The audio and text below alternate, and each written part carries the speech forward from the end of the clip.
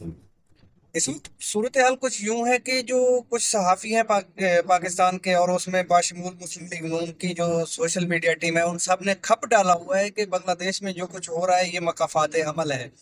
क्योंकि मुजीबर रहमान ने इकहत्तर में यही कुछ किया था तो उसके साथ अब वही कुछ हो रहा है। वही लोग जो उसे हीरो मानते थे वही बंगाली जो मुजीबुर रहमान को हीरो मानते थे अब वही बंगाली मुजीबुर रहमान के पुतले गिरा रहे हैं उनको जला रहे हैं और उसकी बेटी को जो है ना जला वतन होने पे मजबूर कर दिया। कि बंगालियों को अब शायद अंदाज़ा हुआ है कि मुजीबुर रहमान जो है ना वो सही बंदा नहीं था गद्दार था। और उसके साथ यहाँ पे जो हमारे ए, पाकिस्तानी लोग थे वो जो है ना अनेस्ट थे उनको जो ना इस बात का कोई सदमा है।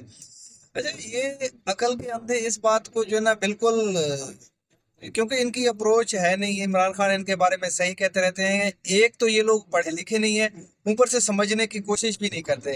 यार देखो, बंगाली जो लोग हैं, उनमें जो ये इनकलाब का वादा है ना, वो शायद इनहेरिट है।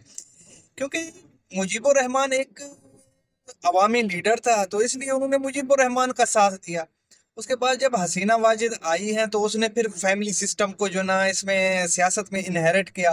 खुद 20 साल से बैठ गई और उसने जमहूरियत का जो ना बांग्लादेश से कलाकुमा कर दिया। तो वो बंगाली लोग बेसिकली इसी अमरीत के तो खिलाफ थे। इसी अमरीत के खिलाफ तो वो उठे याहिया खान के खिलाफ।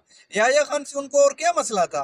वो यही चाहते थे कि डिक्टेटर हमारे मुल्क को ना चलाए।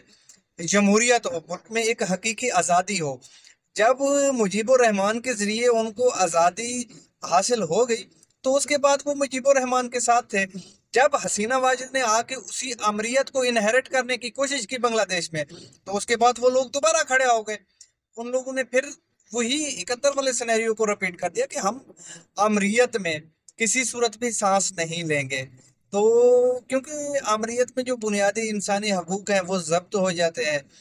लोगों के जो आयन के तहत उनको हकूक हासिल होते हैं, अदलिया वगैरह सारी चीज़ें कंप्रोमाइज़ हो जाती हैं। अदलिया इन चीज़ों को प्रोटेक्ट करने में नाकाम हो जाती है। सीना माजिद ने यही किया आर्मी चीफ अपनी मर्ज़ी का लगा दिया। बीस साल से खुद जो ना कुर्सी पर बैठ गई और इर्द गिर्द अपने पूरे फैमिली सिस्टम को इनहेरिट कर लिया, जिसके खिलाफ बंगालियों ने दोबारा जो ना इकहत्तर को रिपीट कर दिया, जो ना आलम हक बुलंद किया। और इन पटवारियों को ये जो दो चार गिने चुने सहाफ़ी हैं, जिनका तारीख से और जो है ना लॉजिक से कोई ताल्लुक नहीं है, वो बैठ के जो है ना पोस्टें कर रही है, जिनमें सर फहरस्त जो है ना हिना परवेज भट्ट साहबा है तो उनको चाहिए कि देखें वो थोड़े से तारीख को भी और बंगालियों के नेचर को भी। उसके बाद फिर इस पर कमेंट करें। इस वक्त मुझे इजाज़त दीजिएगा, अपने दुआओं में याद रखें। थैंक यू अल्लाह हाफिज़।